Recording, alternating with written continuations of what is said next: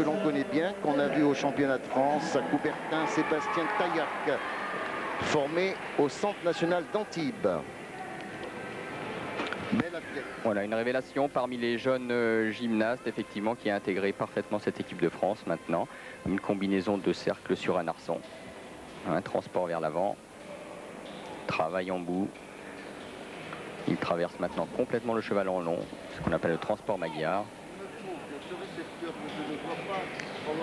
Un passage en ciseaux imposé par le coq de pointage. Ça coupe un petit peu le rythme du mouvement, mais c'est nécessaire. Et la sortie à l'équilibre pour Sébastien.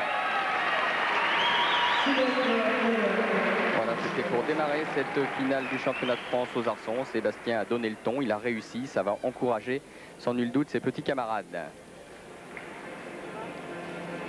La forme du cercle légèrement cassée, là c'est une petite faute technique. Voilà, transport Maguire vers l'avant.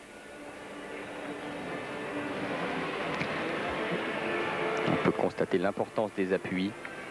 À chaque fois, le gymnaste va chercher très vite son cheval pour pouvoir enchaîner les mouvements. Petite faute de jambe sur les ciseaux. On verra un petit peu mieux tout à l'heure. La combinaison sur l'arçon, on double le cercle avant de monter jusqu'à l'équilibre pour terminer son exercice.